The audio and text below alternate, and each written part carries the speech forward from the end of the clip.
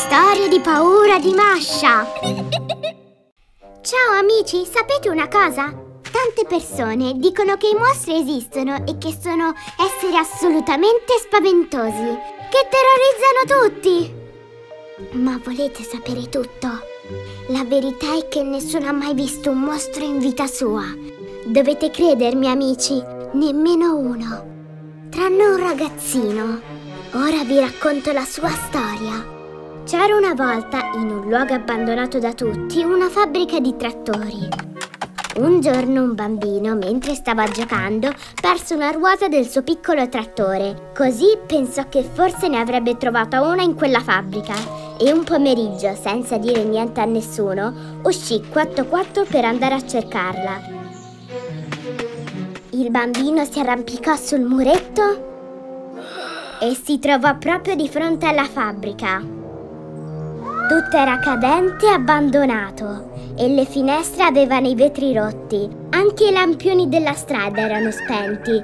Solo da una piccolissima finestra sulla torre più alta filtrava un po' di luce. Il bambino salì le scale della torre e arrivò fino in cima. Ad un tavolino di fronte ad uno specchio se ne stava tranquillamente seduto un mostro bruttissimo che si stava pettinando. Era completamente ricoperto di peli. Si guardava allo specchio sorridendo e tentava di mettersi il rossetto con un rullo da imbianchino. Insomma, un vero orrore. Al bambino venne il singhiozzo per la paura e nel silenzio fece un singulto così forte che il mostro sobbalzò per lo spavento. Il rullo gli finì in bocca e lo inghiottì. Terrorizzato, il piccolo corse giù dalle scale, inciampò, fece i gradini a rozzoloni, finì in un tubo, finché alla fine atterrò in una cantina. Si guardò intorno e disse: Mamma mia, che paura! C'erano due mostri seduti uno di fronte all'altro, uno con la testa di pesce e l'altro con le corna. C'era anche un uomo con la tuta da operaio. In mezzo una bobina per i cavi elettrici che usavano come tavolino per giocare al domino. Tutti e tre avevano in mano delle carte e le giocavano attorno, sbattendole forte sul tavolo. All'improvviso uno dei due mostri, quello con le scaglie, la testa di pesce e la coda di scorpione, gridò. Buttò giù l'ultima carta, si sfregò le zampe soddisfatte e disse: Ho vinto! Poi all'improvviso il secondo mostro con sei zampe e le carna rise in modo spaventoso e al bimbo vennero i brividi lungo la schiena. Come se si trovasse fuori in pieno inverno. Era uno spettacolo orribile. I due mostri sollevarono l'uomo con la tuta e, come per gioco, cominciarono a fargli toc toc sulla fronte. Il bambino impaurito corse fuori e si ritrovò in una specie di laboratorio. Era un'enorme stanza, scura e silenziosa. Il silenzio era spezzato solo da uno strano rumore proveniente dal fondo della stanza, dove si ergeva un trono ricoperto di teschi e sul trono c'era una tartaruga con una specie di corona, come se fosse un re, che si pavoneggiava roteando la sua spada laser. Il re vide il bambino e si arrabbiò così tanto che il suo brutto muso divenne ancora più brutto. Poi improvvisamente si accesero le luci e si sentì qualcuno gridare Stop! Stop! Stop! Insomma, cosa ci fa questo bambino davanti alla nostra telecamera? Marivanna, vieni qui! Sì, parlo con te! Ma chi l'ha fatto entrare? Non posso girare in queste condizioni! Cinque minuti di pausa! Una piattaforma con la telecamera calò dall'alto. Il re spense la spada e la gettò via dicendo Cosa? Un'altra pausa? Così non finiremo mai questo film! Avete capito bene, stavano girando un film e il bambino aveva rovinato le riprese. L'uomo con la tuta lo accompagnò fuori dal cancello. Quindi tutti i mostri erano attori, non erano mostri veri. Stavano solo recitando, non c'era nessun motivo di aver paura.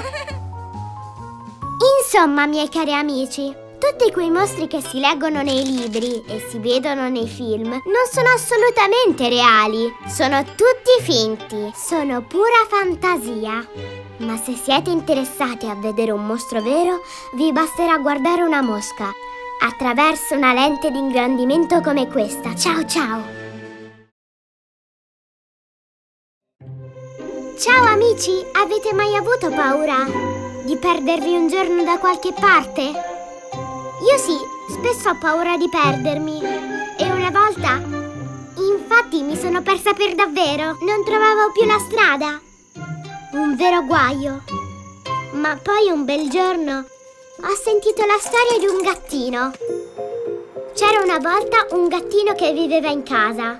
Era un gattino come tanti, non aveva niente di speciale. Tranne un particolare. Ogni volta che usciva di casa si perdeva. Se andava per la strada per rincorrere una palla o per fare una corsetta, dopo pochi minuti non ricordava più da dove fosse venuto.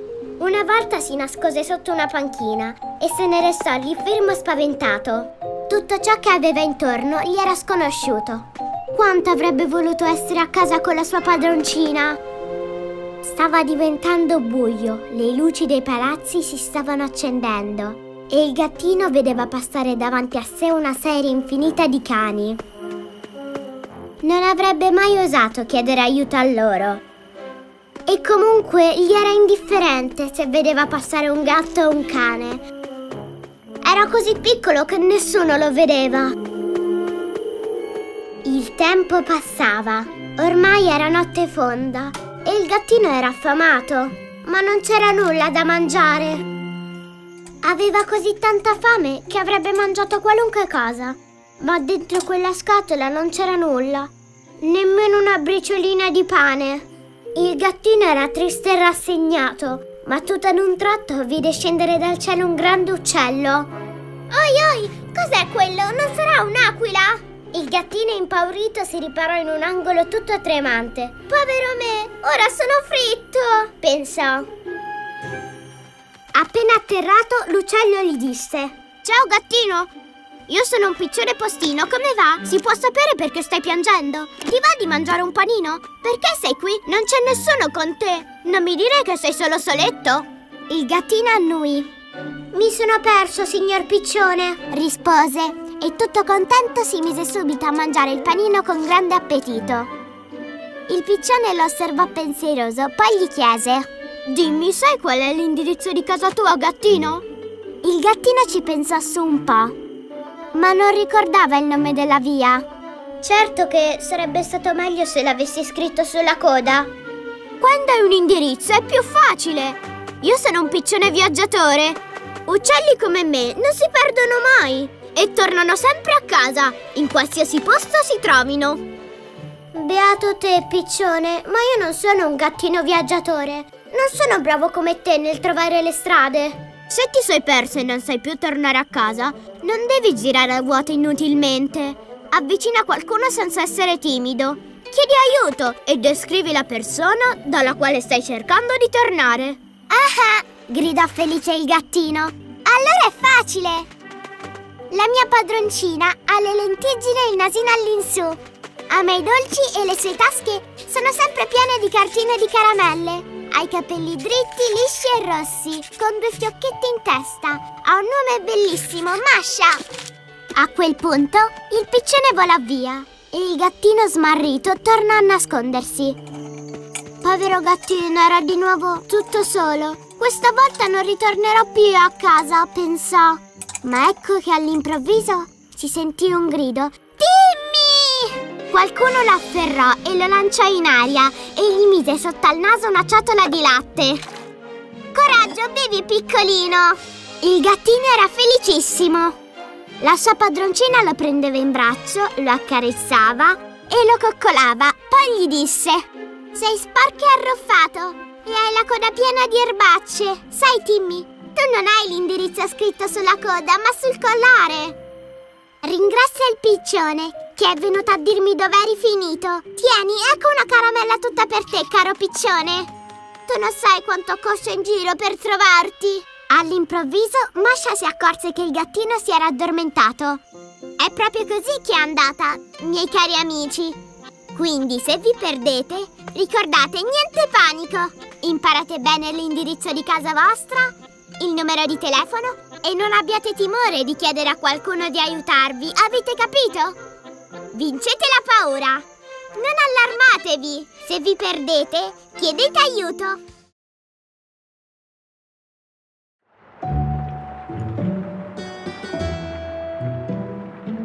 Certe persone hanno strane paure, proprio come nella storia che sto per raccontarvi. C'era una volta un bambino su un autobus. Di fronte a lui c'era una vecchietta che parlava e parlava. Disse anche che se qualcuno fosse andato a nuotare oltre le boie, laggiù dove era vietato, sarebbe di sicuro annegato e nessuno avrebbe potuto aiutarlo. Il bambino fu così impressionato che da quel giorno iniziò a temere l'acqua, come la peste. L'estate il bambino andò a trascorrere le vacanze in campeggio, ma quando gli altri bambini andavano a nuotare, lui se ne stava seduto sul molo a fissare l'acqua profonda. Guardò e guardò così a lungo e così intensamente che iniziò a credere di vedere qualcuno sott'acqua che a sua volta lo stava fissando. Si convinse che la prima volta che fosse andato a nuotare, quella creatura nell'acqua l'avrebbe afferrato per i piedi e l'avrebbe trascinato sul fondo per sempre. Una cosa spaventosa. Per farla breve, il bambino spaventato decise che l'acqua era troppo pericolosa e la mattina smise di lavarsi la faccia poi non volle più nemmeno lavarsi le mani prima di andare a mangiare. E alla fine stabilì il record di quel campeggio. Non si lavò per quasi tutte le vacanze estive. Se voi sapeste, oh, come diventano del tutto irriconoscibili i bambini quando per qualche ragione smettono di lavarsi per bene. Dopo qualche tempo il bambino notò che intorno a lui tutti si comportavano in modo strano. Gli altri bambini non solo lo fissavano, ma scappavano spaventati. Anche i grandi fuggivano. Solo il prode allenatore non scappò, ma si nascose dietro ad alcuni attrezzi. Ah, che ingenuo! Pensava che il bambino non l'avrebbe trovato lì dietro. Figuriamoci, come poteva non vederlo, grande e grosso com'era? Ti ho visto, ti ho visto, ti ho trovato! Questo voleva dire il bambino, ma al posto della sua voce uscì. L'allenatore strillò spaventatissimo. Oh, povero me! Salvatemi, è entrato un porcellino in palestra! Era vero! Poiché il bambino non si era più lavato, era diventato uno strano porcellino. Eh sì, purtroppo un porcellino non può stare nello stesso campeggio con gli altri bambini. Perciò il bambino porcello fu costretto a stare insieme agli altri animali e finalmente capì che doveva smettere di avere paura dell'acqua se non voleva passare tutto il tempo a mangiare strani avanzi come le bucce di cocomero. Doveva vincere la sua paura, perciò chiuse gli occhi, prese la rincorsa e saltò in acqua senza esitazione. Sorpreso, si accorse che non succedeva niente di terribile. Allora tutto felice corse verso i lavandini mise la testa direttamente sotto l'acqua e finalmente, invece del grugno del porcellino, vide nello specchio il suo bel naso da bambino. Allora prese il sapone e iniziò a insaponare anche gli zoccoli da porcellino. E... meraviglia! Ecco di nuovo le sue mani! Il bambino cominciò a nuotare ogni giorno, a lavarsi la faccia, spazzolarsi i denti e strigliarsi sotto la doccia. E quando il campeggio terminò, la sua trasformazione in un bambino senza paura fu completa. Riuscì perfino a vincere una gara di nuoto. Quando la mamma arrivò al campeggio era contentissima. Abbracciò il bambino e gli diede un bel bacio sul naso. Allora avete capito, amici miei?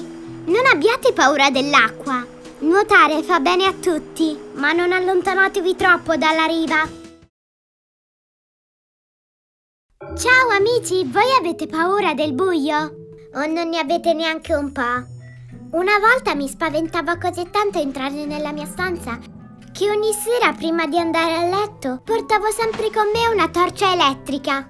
Però poi un bel giorno ho ascoltato una fiaba che parlava di una piccola pulce che aveva paura del buio. È una storia molto interessante e ora ve la racconto. Tanto tempo fa, in una grande foresta, viveva una piccola pulce. Era una pulce esattamente come tante altre. E anche la foresta in cui viveva non era poi così diversa da mille altre foreste. Ma quando scendeva la notte, gli alberi sembravano sempre più scuri e minacciosi. E la povera piccola pulce tremava di paura. Una notte, mentre se ne stava sola sotto una foglia, tutta tremante, la pulce vide tantissimi brutti mostri. Ce n'era uno con le zanne lunghe lunghe e la bocca grande come un forno. E ce n'era un altro con le zampacce e gli artigli pronti ad afferrarla. E più la notte diventava scura, più gli artigli crescevano e tutte le ombre si allungavano sempre di più. Alla fine la pulce cominciò a gridare con quanto fiato aveva in gola. Basta!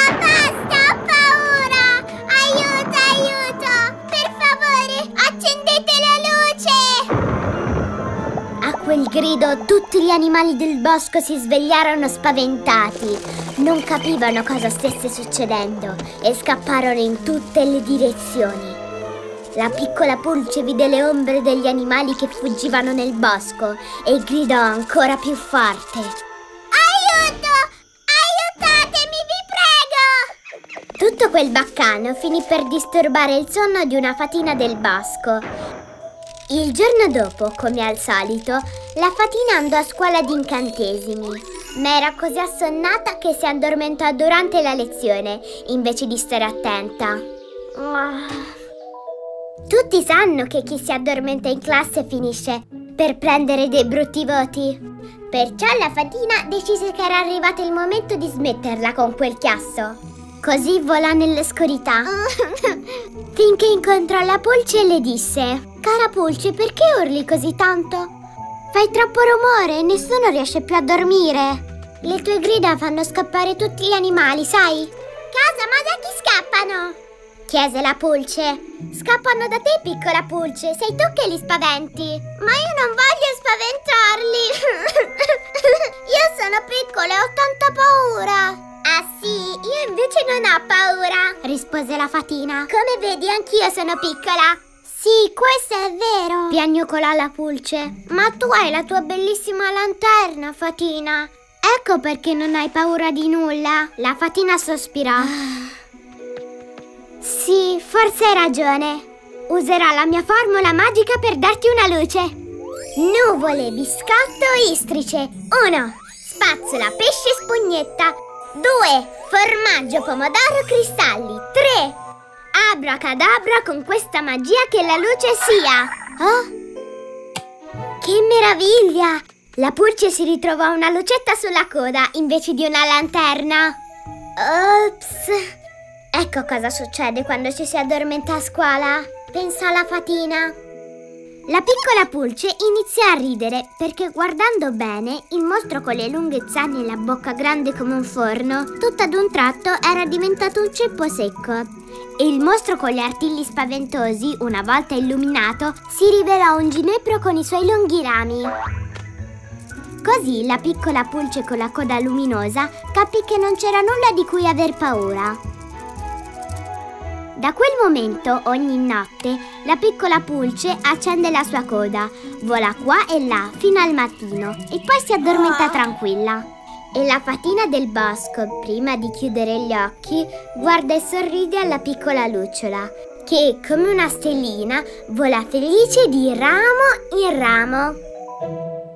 Cari amici, se nel buio vi sembra di vedere qualcosa, guardate bene prima di spaventarvi e voglio darvi un consiglio. È più facile imparare dopo una bella notte di sonno. La luce della conoscenza non si spegne mai. Buonanotte!